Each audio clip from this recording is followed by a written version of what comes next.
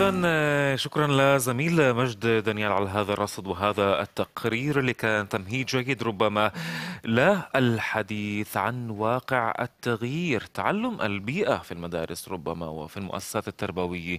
إن كانت آه، في الم... في المرحلة الثانوية كوحدات يمكن للبقروت أو آه، كحصص تربوية وتعليمية. في مختلف المراحل التعليمية بمجتمعنا العربي الفلسطيني في الداخل. الحديث أكثر عن هذا الموضوع. برحب في ضيوفنا هذا الصباح عبد نمارني ناشط بيئي يسعد الصباح.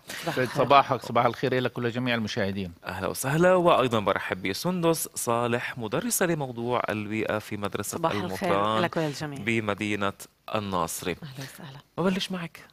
سندس سندس اليوم في قبعة المعلم المعلم كل عام وأنت بخير أنت العودة بخير إذا سندس أنا من الناس اللي تعلموا بيئة في أو علوم البيئة في في المدرسة.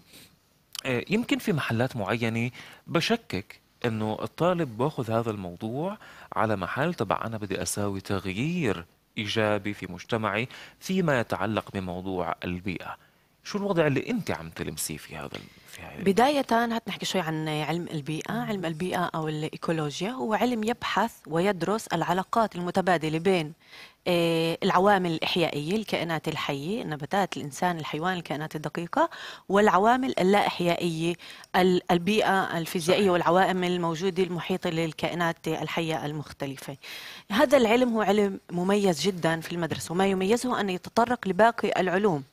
علم آه، آه، الفيزياء البيولوجيا آه، الكيمياء العلوم الاجتماعية اتخاذ آه، مواقف آه، قرارات طرح آه، آراء آه، هذا علم مميز يدرس في المدارس. السؤال كيف يدرس؟ وهل نحن ننجح في تجسيد آه، المعاناة البيئية التي نحياها في العالم؟ وهل ننجح في نقل هذه الصورة للطالب؟ وهل ننجح في خلق طالب سفير للتغيير البيئة؟ هذا فعلا يتعلق في المدرسة في إدارة المدرسة في الطاقم التربوي التعليمي الذي يختص في تعليم آه، البيئة. موضوع البيئة يأخذ حيز هام جدا في السنوات الأخيرة بسبب إذا صح القول الكوارث الطبيعية التي نحياها صحيح. آه، في في العالم كأجمع الاحتباس الحراري آه، الفيضانات الهزات الأرضية المشاكل التلوث مشاكل عديدة التي تضر بنا ككائنات حية كإنسان وبجميع بمجمل. الكائنات الحية. من هنا نعم. هنالك أهمية في تدريس لعمق موضوع علم البيئة. صحيح. وكل هاي المخاطر يمكن بتهدد هيك وجودنا على هذا الكوكب صحيح. مثل ما حكينا وسندس رح نحكي كمان قديش فعلا هيك دائما بنقول الفرق ما بين النظرية والتطبيق والجانب العملي قديش عم نقدر نقرب لطلابنا يمكن الأمور بشكل أكثر عملي وملموس بعد شوي رح كمان نحكي كمان يمكن هذا ملائمتها لوين إحنا عم نعيش والمشاكل صحيح. اللي عم آه، منواجهها يعني ممكن نحكي عن الاحتباس الحراري أو عن التغير المناخي اللي عم بيصير في صحيح. في العالم وخروج ترامب من الاتفاقيات المناخية ولكن قديش أنا اليوم كمدرس بترجم هاي الشغلات تبعا لشو عم بيصير في قريتي في بلدتي العربية. وبحسس الطالب إنه قريب طبعاً. من واقع والأمور اللي بعيشها باليوم يوم أستاذ عبد عن جديد يسعد صباحك يعني أكثر من مرة حضرتك شرفتنا وحكينا عن هاي المخاطر البيئية حكينا عن الوضع البيئي في بلادنا سريعا ندخل المشاهدين مجددا في هاي التفاصيل. شو هو الوضع اليوم؟ شو المخاطر يمكن اللي إحنا كأفراد في المجتمع عم نسببها أيضا؟ أنا أعتقد إنه بلادنا أيضا والبلاد اللي إحنا عايشين فيها هي جزء من المنظومة العالمية. اللي الكرة الأرضية اللي بتواجه إحنا بنشهد إنه الكرة الأرضية تواجه خطر خلال عشرات السنوات القادمة.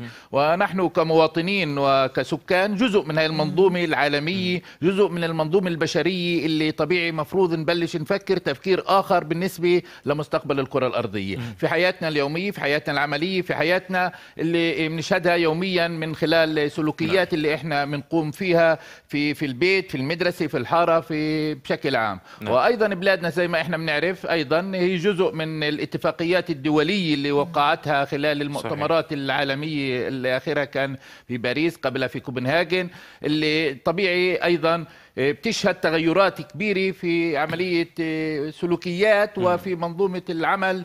اللي موجوده عندنا في البلاد من خلال ال- التغيرات اللي بتشهدها آه، بلادنا من آه، من عمل نعم. ومن تقليل من التلوث خاصة في المناطق الصناعية اللي آه، بنشوفها. صحيح يمكن عم نحكي عن عن تلوثات إن كان في الجو وفي البيئة بشكل عام ولكن هات نحكي آه، بعيدا عن ربما ال- النظريات هات نحكي عمليا في بلداتنا وقرانا العربية.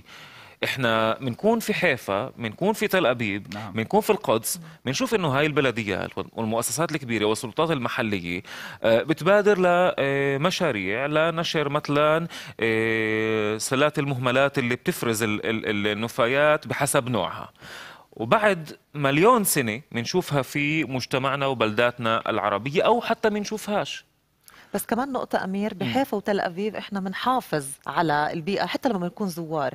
ببلدتنا بنسمح لحالنا إنه بعرفش ليش التصرف في الحيز العام. وهذا وهذا كمان بيطرح السؤال عفاف قديش سلطاتنا المحلية اليوم بالفعل عم تشتغل على نشر وعي مختلف ومغاير عن الموجود. أعتقد إنه هاي التفكير هذا النمط اللي إحنا بنف- بنفكر فيه لا إحنا مجتمع بحب البيئة مجتمع بحب بحب وطنه مجتمع فلاحي وقرانا جميله في في مواقعها وفي جغرافيتها وفي طبيعتها لكن هنالك بعض أنا بعتقد إنه بعض الشوائب اللي فيه موجودة. هنالك بلدات عربية تفوق البلدات كثير اللي إحنا بنضلنا نفكر البلدات اليهودية في جماليتها في مداخلها في الحيز اللي موجوده فيه وفي أمثلة كثير اللي إحنا بنشهدها من فعالياتنا ونشاطاتنا اللي بنقوم فيها آه، في في كثير من المواقع.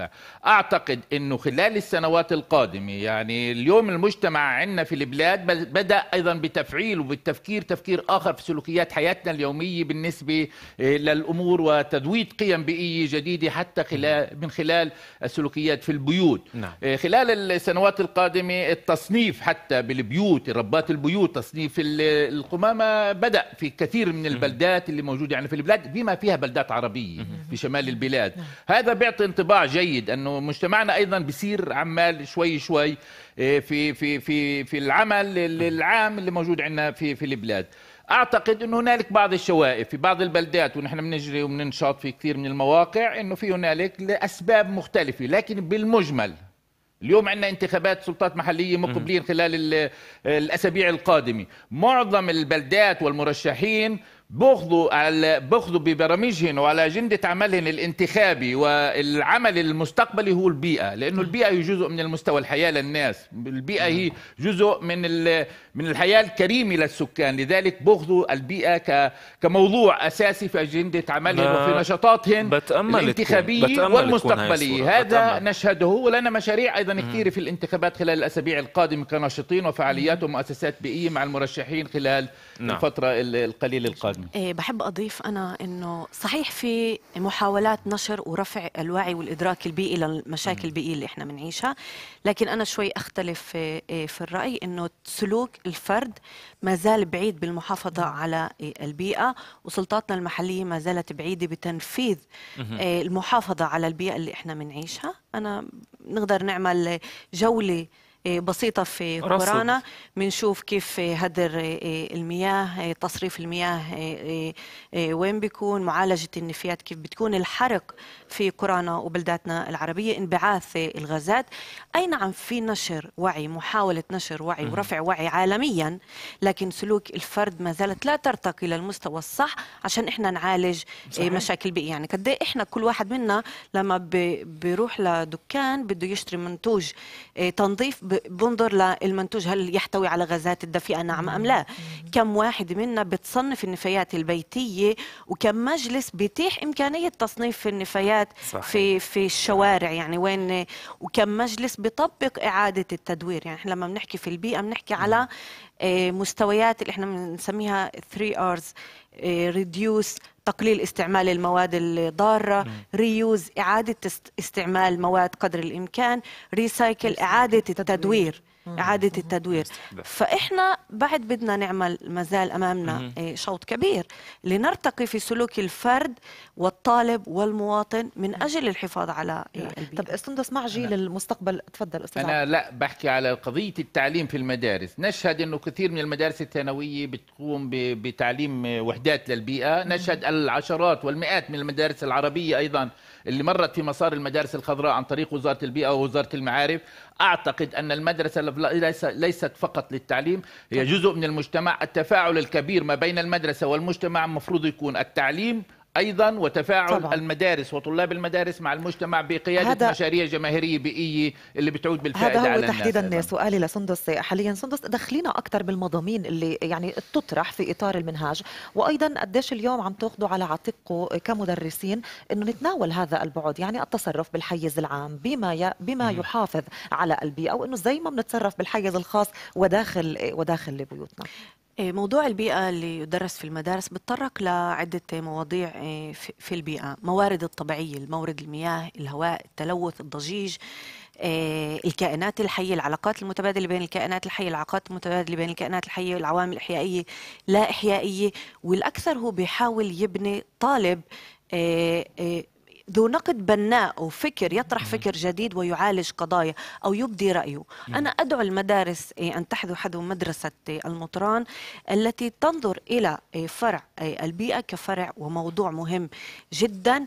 علينا مسؤولية مجتمعية أخلاقية إنسانية في خلق فكر جديد لدى الطالب الذي يدرك مدرك لنفسه مدرك للبيئة مدرك للتحديات الموجودة. وكما أنه جزء من المشكلة البيئية عليه أن يكون الطالب جزء من حل هذه المشاكل البيئية.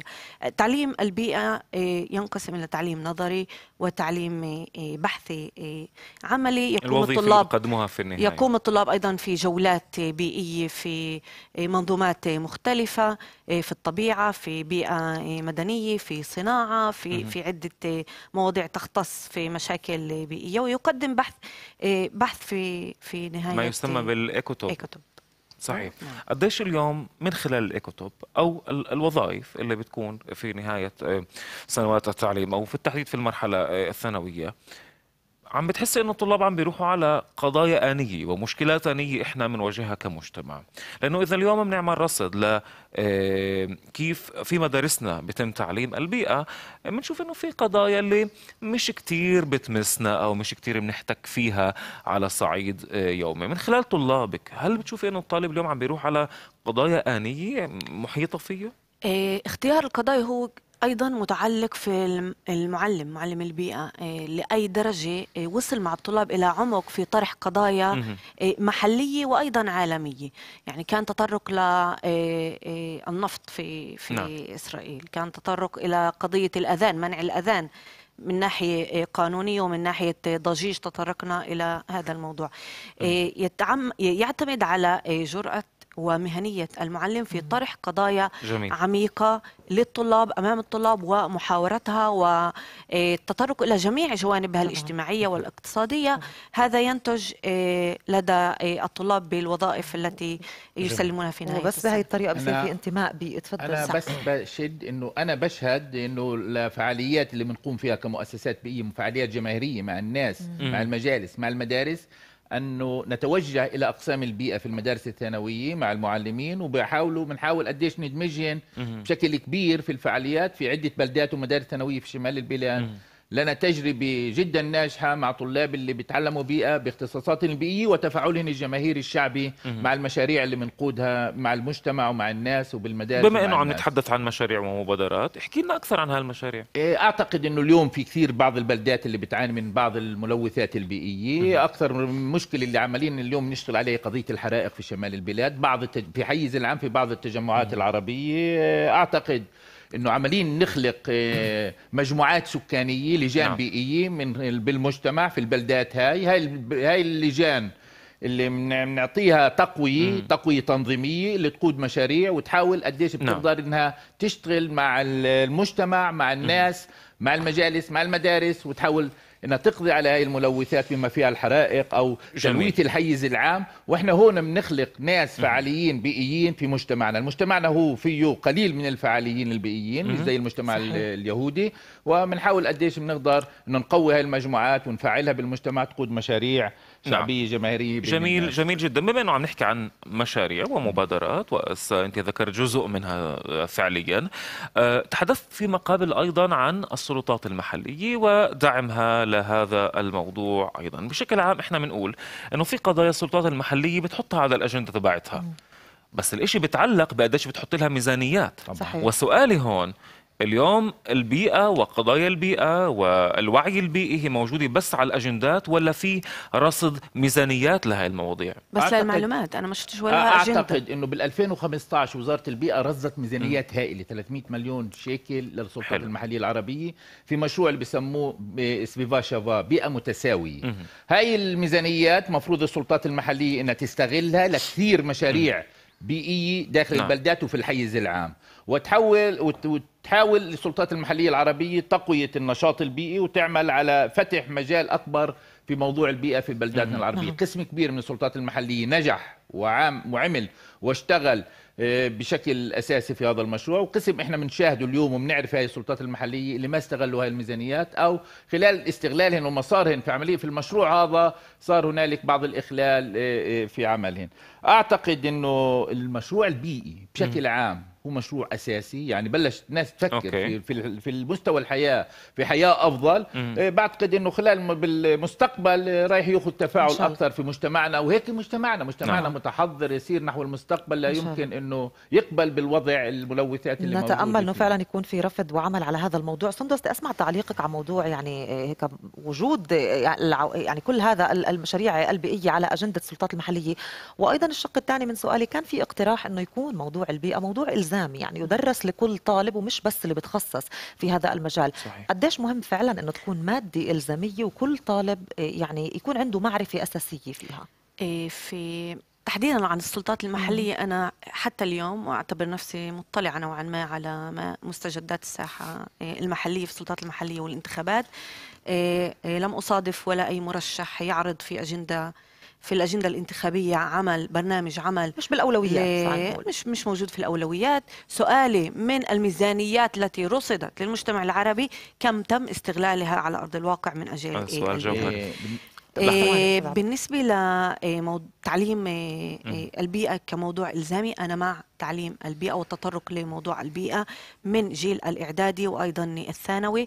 مؤتمر باريس بعام 2015 يشير إلى خطور معطيات خطيرة جدا تهدد الإنسان والكائنات الحية. ولطالما الإنسان في استهلاك مستمر غير مراقب غير مدروس للموارد الطبيعية.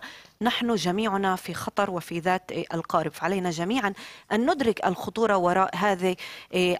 المعطيات الخطيرة. تحديدا تكلمتم عن المشاريع. أريد أن أشيد في إيه، مشروع كان إيه، في مدرسة المطران. حصلت على المرتبة الأولى في البلاد في المدارس العربية واليهودية حيث بحث الطلاب بشكل علمي الراحة الحرارية مقارنة في مدرسة في بناء قديم بناء كنسي مقارنة مع مدرسة في إيه، بلدة في مدينة في مدينة يهودية ومدرسة في شفا عمر وحصلنا على إيه، المرتبة الأولى طلاب من مدرسة المطران أيضا يبحثون التلوث في إيه، الناصرة مشكلة الازدحامات المرورية في الناصرة وتأثيرها على إيه، جميل. الناس على المواطن النصراوي هذا. مهم طرح الحياة القضايا اليومية لطلابنا لدقيقة الانتخابات. لو أنا. بحكي على الانتخابات. بال 2013 قدنا مشروع كبير للانتخابات مع المرشحين عندنا في المجتمع العربي. حوالي ثمان سلطات محلية أو بلدات اللي عملنا فيهن آه، آه، مناظرة بين المرشحين على قضايا بيئية. وتم توقيع كل المرشحين على وثيقة بيئية أمام جمهور كبير في قاعة كبيرة اللي بنجمع الناس كل أهل البلد في شمال البلاد. هاي السنة أيضا لدينا مشروع أيضا انتخابي مع بعض البلدات العربية. قضية المرشحين مناظرة على قضايا بيئية مستوى الحياة وجمالية البلدة ويتم أيضا توقيع كل المرشحين على وثيقة بيئية اللي أمام الجمهور وبيتم إعلانها أمام الناس بشكل نعم، و- نعمل نخلق ثقافة جديدة وعمل جديد بين أهلنا وجماهيرنا و بالطبع ونحن نكرر التساؤل. يعني ممكن يوقعوا على اتفاقيات وممكن يخوضوا مناظرات ولكن قديش بالفعل ممكن يستغلوا ينفذ. وينفذ على أرض الواقع والميدان. متأمل مش بعض القرى العربية متأمل كل بلداتنا العربية يكون في هذا الوعي. مسؤولية مشتركة على بالفعل. الجميع وشكرا لحضوركم معنا سندس صالح يعطيكم ألف عافية. وتحية لمدرسة المطران أيضا على هذا النشاط أستاذ عبد نمارني شكرا لحضورك شكراً معنا. وتسليط ضوء على هذا الموضوع